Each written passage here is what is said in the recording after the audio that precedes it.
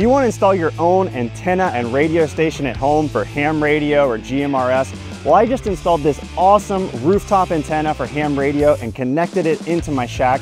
And I'm gonna take you through the entire process, step by step, including all of the materials, all of the connections, whether it's for ham radio, GMRS, whether you wanna mount it on your roof like this or mount it on the chimney or some other place to make it easy for you to do a similar installation. Coming up.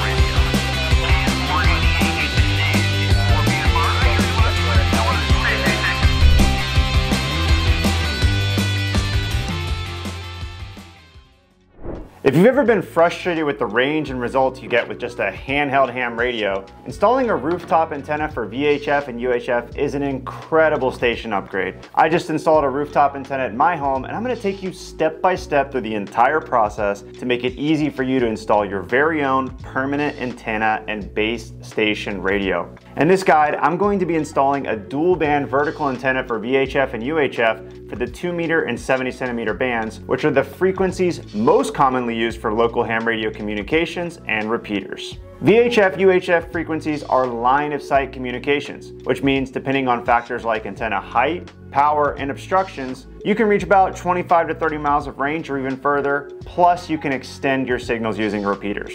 And if you want to go worldwide, you can further enhance your home ham station by adding a simple wire antenna like an end-fed half wave for HF, aka high frequency, which I'll cover in another video. But having a great VHF UHF antenna is an important part of any complete ham radio station for reliable local communications. I'm also going to include a text guide along with this video with more detailed instructions and links to all the materials for your easy reference.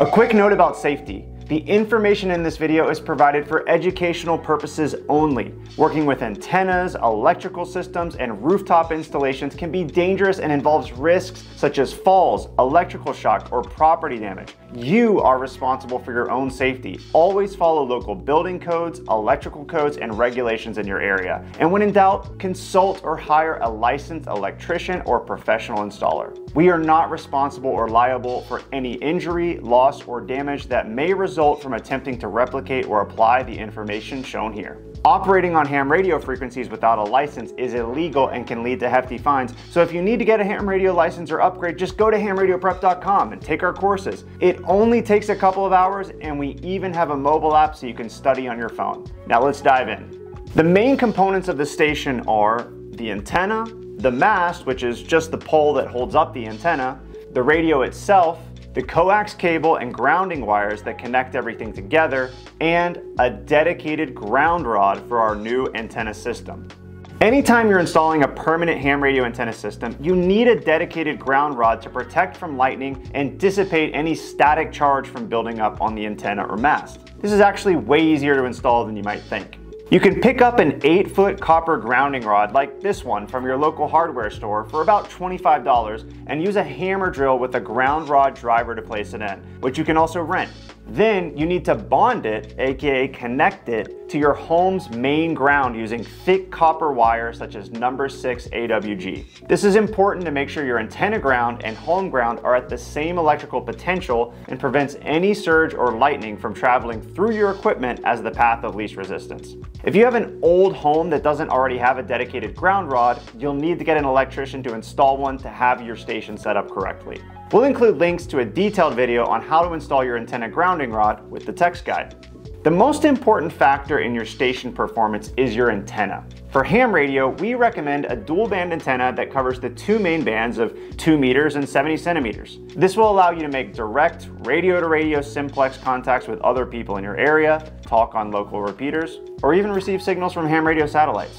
Generally, longer vertical antennas have better performance and gain, which give you better range, but there's a trade-off because they're heavier and longer. I've selected the Diamond X30A, which is just a couple feet tall and was the right size for my space. But there are lots of great dual band ham radio antennas, so I'll include some additional recommendations in the text guide along with the video. You can use pretty much any 2 meter 70 centimeter ham radio with this antenna. You can even connect to your regular handheld radio. But for best performance, I recommend finding a base station dual band ham radio with at least 50 watts of power, which is much more than the 5 to 8 watt power on most handhelds. I'll include a few great options in the text guide with this video, and again, there are lots of great options here. Personally, I'm using a Yaesu FTM100D, which isn't even produced anymore, but it's still an awesome and performant radio. Next up, you need to decide where you're gonna mount the mast for the antenna. The mast, again, is just the pole that is going to hold the antenna up. There's a saying in ham radio, height is might. You want your antenna to be as high as possible for best performance. You've got a few common options for where to mount your antenna. If you have a good chimney, you can use a chimney mount with straps. Or you could use an eave or wall mount, which lets you attach the mast to the side of your house with brackets or a mount. Finally, you could use a mount that goes right on the top of the roof, which is what I'll be using. Rooftop mounts come in various styles, such as tripod mounts, mounts that go over the eave, or mounts that drill directly into the roof like the one I'll be using, but you can seal them to prevent water damage and you can always replace the shingles later if you need to remove the antenna. I would definitely recommend taking a look at a mount like this one that goes over the eave of your roof if you want to try an option that doesn't require any holes in your roof. Very important is to make sure your mounting point is very far away from overhead power lines, at least twice the length of the antenna assembly. You do not want any chance that your antenna or mount is gonna touch a power line because that could be deadly. Don't be afraid to get creative with your mount and mast either. Ultimately, you just need a sturdy pole to hold up your antenna. Some people even use fence posts. Pick whatever style works best for you. And once you've picked a mast and a mount, it's time to install it. Since I'm installing directly into the roof, I'm going to use a 1x6 inch piece of pressure treated wood underneath my mount, which I'm also painting with a sealant and black paint to add extra stability. That's only necessary because of the type of mount I'm using, but it may not be necessary for you. I've picked out a spot on the highest part of my roof. I'm gonna drill pilot holes, then place two inch outdoor screws to the wooden mount to secure the mounting plate. Yes, unfortunately this is putting holes in my roof, but these are small holes. I'm gonna use a sealant tape to cover the holes later, and you can even purchase a sealing tape that is purpose built to seal the holes underneath the mount. Now I'll connect the mast with the included bolts using a level to ensure the mast is as straight as possible. With the mast ready to go, let's put together our antenna on the ground before connecting it to the mast. Again, I'm using a Diamond X30A antenna. The Diamond X30A and similar antennas come with three radials that act as a ground plane to direct your signal and improve performance. Screw the radials into the side of the antenna and tighten the locking nuts to secure them.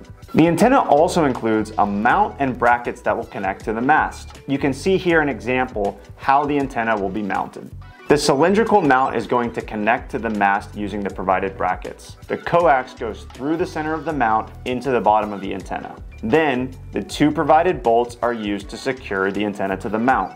Back at the mast, attach the cylindrical mount using the two brackets provided and tighten until firm. This is going to hold our antenna. Now you're ready to attach the antenna to the mount. For this step, you'll also need coax and electrical tape with zip ties for strain relief. Using high quality, thick coax cable is really important because you can lose a lot of your signal in bad coax, especially for VHF and UHF frequencies. I recommend LMR 400 or RG8X coax, which are thicker coax that will perform really well under these frequencies. Your coax cable should be as short as possible to minimize the losses, so consider the shortest distance to your station or ground. I already have my coax ready to connect with the correct length before I mount the antenna. Pass the coax through the mount and screw it firmly into the bottom of the antenna. Then, use the two bolts provided to screw the antenna into the mount. Since we're using heavy coax cable, let's add some strain relief. I'm going to create a loop with the antenna and secure it using a zip tie and electrical tape. This will reduce the force of the coax on the antenna and make it last longer. Here's a close-up. You can see our antenna is coming into the antenna mount. We have our two bolts with locking washers that are connecting the antenna to the mount.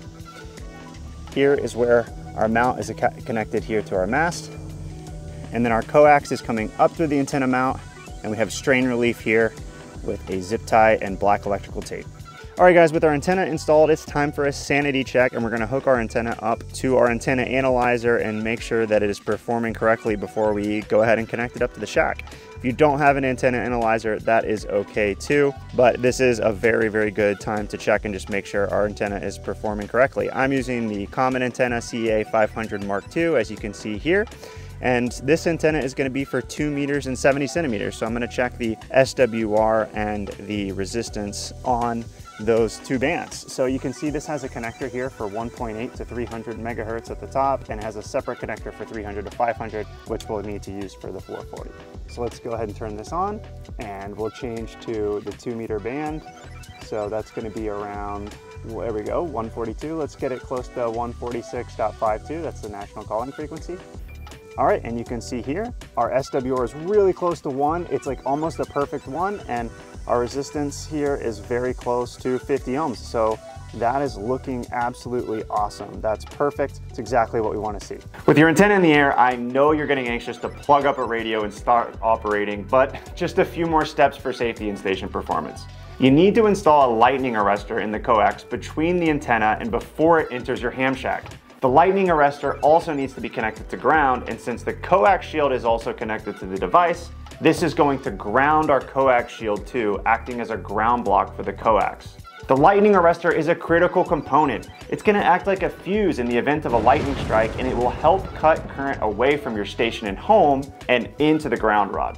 Nothing is gonna protect you 100% from a direct lightning strike, but this is gonna help a lot. So connect one end of the coax coming from the antenna into the lightning arrestor, connect the other end of the coax going to your ham shack. You can place the lightning arrestor at the point where the coax enters your ham shack, like a feed through or junction box. I'm going to install it here near my dedicated ham radio ground rod, since the ground rod is already near the entrance to my ham shack anyway. Then, make sure to connect the lightning arrestor to ground. First, I'll use a wire stripper to strip the insulation off the end of the 10 gauge green ground wire. I'm using a crimp to connect the ground wire to the connector on the bottom of the lightning arrestor. Then, connect the lightning arrestor to ground using a ground rod clamp like this one. Or you can order an even better connector like this one for your ground rod. These come in various styles and connection types. You also need to ground the antenna mast. I'll strip the end and use a crimp connector then connect it to the mast. Because my mast appears to have some kind of powder coat, I'm also adding a jumper ground between the mast and the antenna mount. You just want to ensure that the entire mounting system is grounded with metal to metal contact. Back at the ground, I'll use the ground rod clamp again to secure the grounding wire to the antenna mast. A note about grounding wire here, 10 gauge is the absolute minimum thickness for grounding from the mast to the dedicated ground rod, and many people even recommend 6 gauge. A detailed guide on grounding and bonding is beyond the scope of this guide, but this should at least help you understand the fundamental requirements of grounding your lightning arrestor and mast. Remember, you need to have a dedicated ground rod for your ham radio antenna system, which is bonded to your main home ground using 6 gauge copper wire. Now we can run the coax from the lightning arrestor to the ham shack. I'm using a window feed through unit from Rocket Machine Works to pass through my window. Check out my full installation video on the feed-through unit if you want some extra installation tips. And finally, the moment of truth. Let's connect the radio and make some contacts. An easy way to try to make a contact is to tune your radio to the national calling frequency, 146.520 megahertz, and say your call sign plus, national calling frequency, looking for a contact. I tuned my radio to 146.520, said my call sign, and immediately made two contacts about 10 miles away. This is November Zero Whiskey Romeo Lima testing simplex.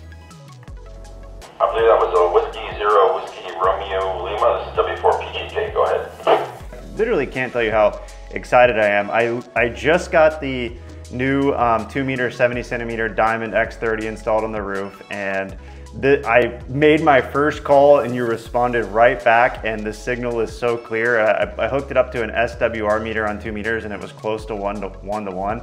And this is just incredible. I mean, I've, I've been, uh, I've used handhelds and all of that, but having an actual permanent rooftop installation is just a game changer. Over. Oh yeah, definitely. Uh, if you're if you're trying to do uh,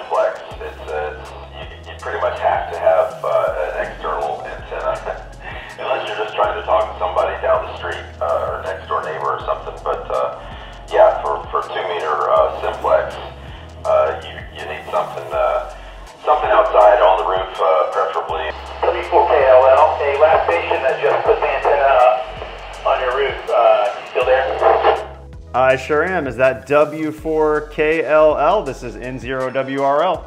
Yes, it is. Um, first off, how you doing? Name here is James.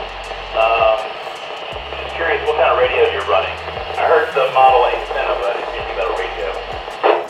Hey, thanks so much for uh, thanks so much for coming back. Um, how's my uh, signal there for you? I mean, you're coming through just incredible here. Well, I've not had the UPH and at Buford Highway Farmers Market yet. You're coming in 5'9", uh, That was awesome. You can also program your radio to a local repeater now and make repeater contacts. And there you go. I hope this guide was helpful in setting up your very own VHF, UHF ham radio base station. I absolutely love this station setup and I hope you are just as excited with your station setup. Now that the mast is set up, you can also try different antennas as well. I have HF capabilities as well here in my shack, so be sure to check out our videos on setting up an HF antenna such as an end-fed half wave, which is my recommended first HF antenna. Once you have HF as well as VHF and UHF capabilities, you will have a really awesome fully featured station. And setting up HF might be easier than you think. There are also lots of ways to improve this station. For instance, I can go back and improve the cable routing and use electrical tape to seal all of my coax connections. There are also some topics we didn't get to cover in full depth for the sake of time, like bonding your ground rod to your home ground. Be sure to drop a helpful comment if you have some tips or areas of improvement that might help other hams. This is how I installed my station, but there's still lots of areas of improvement and I'm sure other people out there have great tips as well. If installing a permanent mast and antenna like this one seems a little overwhelming, don't be afraid to experiment with portable, temporary dual band antennas and mounts as well. Try operating with an antenna on your balcony before going for a permanent installation. And remember, check out the text guide that goes with this video for more detailed instructions and links to all the materials and supporting documents. As always, this is James N0WRL saying 73, and I hope to hear you on the air soon. Hopefully with your new mobile base station. We've helped over 60,000 students get their US FCC amateur radio license, and we can help you too, no matter your age or educational background. Go to www.hamradioprep.com and try a free lesson today.